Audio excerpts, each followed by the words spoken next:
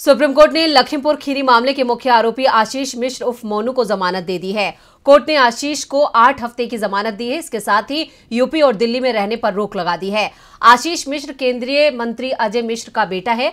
आशीष पर लखीमपुर में पाँच किसानों की गाड़ी से कुचलकर जान लेने का आरोप है। तो जमानत देते हुए क्या कुछ कहा सुप्रीम कोर्ट ने? देखते हैं ये रिपोर्ट। लखनपुर खीरी कांड के मुख्य आरोपी आशीष मिश्रा को सुप्रीम कोर्ट ने शर्तों के साथ अंतरिम जमानत दी है। कोर्ट ने कहा कि फ़िलहाल आशीष को आठ हफ्तों के लिए रिहा किया जा रहा है, लेकिन शर्तों के उल्लंघन पर जमानत रद्द हो सकती है। आशीष को रिहाई के एक हफ़्ते के भीतर उत्तर प्रदेश छोड़ना होगा, वो फ़िलहाल दिल्ली में भी नहीं रह सकता है।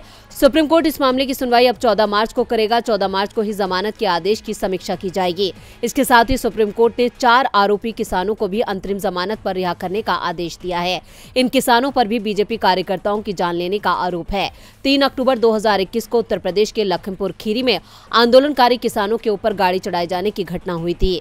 इस घटना में और उसके बाद गुस्साए किसानों की तरफ़ से की गई आरोपियों की पिटाई में कुल आठ लोगों की जान गई थी। मामले का मुख्य आरोपी केंद्रीय गृह राज्य मंत्री अजय मिश्र टेनी का बेटा आशीष मिश्र उर्फ़ मोनू है।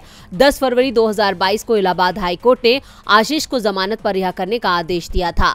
18 अप्रैल को सुप्रीम कोर्ट ने उस आदेश को रद्द कर दिया था। उसके बाद से ही आशीष जेल में है। अब सुप्रीम कोर्ट ने शर्तों के साथ उसकी रिहाई का आदेश दिया है। आशीष मिश्रा की तरफ़ से दलील दी गई थी कि वो एक साल से ज़्यादा वक्त से जेल में है, जबकि घटना में उसके शामिल होने का कोई पुख्ता सबूत नहीं है। सुप्रीम कोर्ट को भेजी रिपोर्ट में लखीमपुर खीरी की निचली अदालत के जज ने बताया था कि मुकदमे का निपटारा होने में पाँच साल का वक्त लग सकता है। इस पर कोर्ट ने आशीष को जमानत का संकेत देते हुए कहा था कि मुकदमा खत्म होने तक किसी को जेल में बंद नहीं रखा जा सकता। सुप्रीम कोर्ट का यह आदेश आशीष मिश्रा के लिए बड़ी राहत है। डीबी लाइव की रिपोर्ट।